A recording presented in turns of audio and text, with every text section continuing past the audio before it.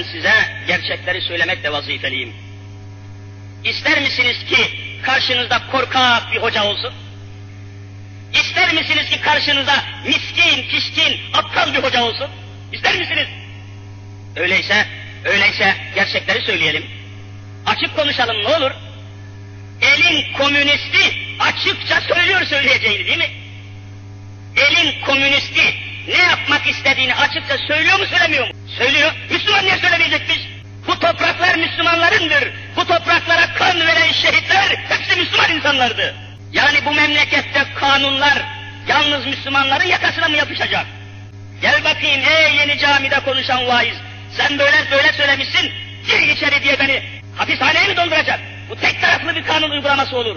Özgürlükçü demokrasiyi kendileri yalanlamış olurlar. Hani hürriyet sevdalısı, hani özgürlükçü demokrasi havarisi.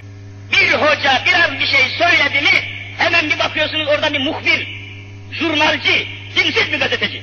Eyvah falan filan elden gidiyor falan hoca şöyle konuşuyor bu hocanın kellesini kesmeli diye o gavur gazeteci ihbar ediyor hemen harekete geçiyorlar.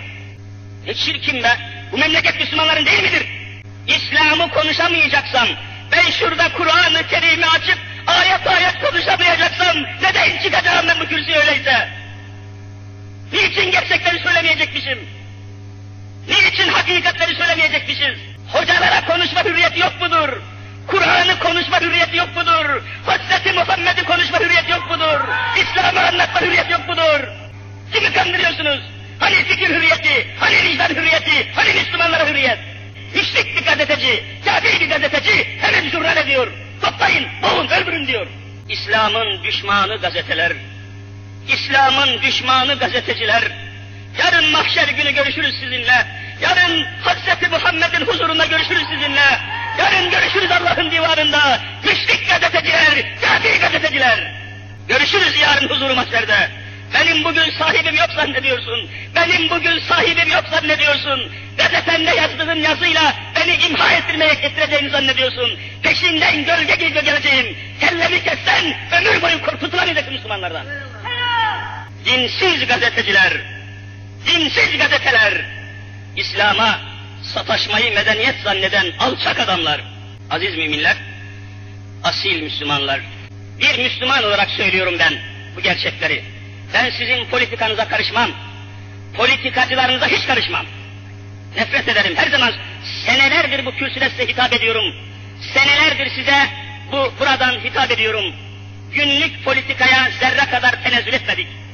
İğrenç bulurum, çirkin bulurum, utanç duyarım. Ama Müslüman olarak konuşuyorum.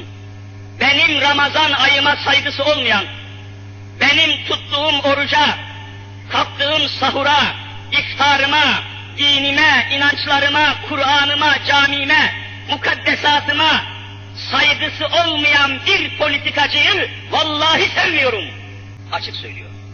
Ben oruç tutarken oruç tutmayan politikacı, ben namaz kılarken namaz kılmayan politikacı, benim Ramazanımla alay edercesine Müslüman milletin karşısına geçip sigarasını savuran siyaset adamı, seni sever miyim ben?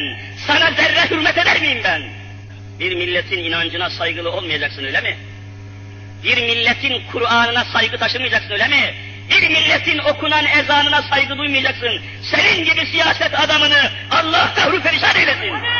Kendine gel Müslüman. Kendine gel Müslüman. Erkek ol, ürkek olma. Sen terbiyeli Hazreti Muhammed'den alacaksın sen.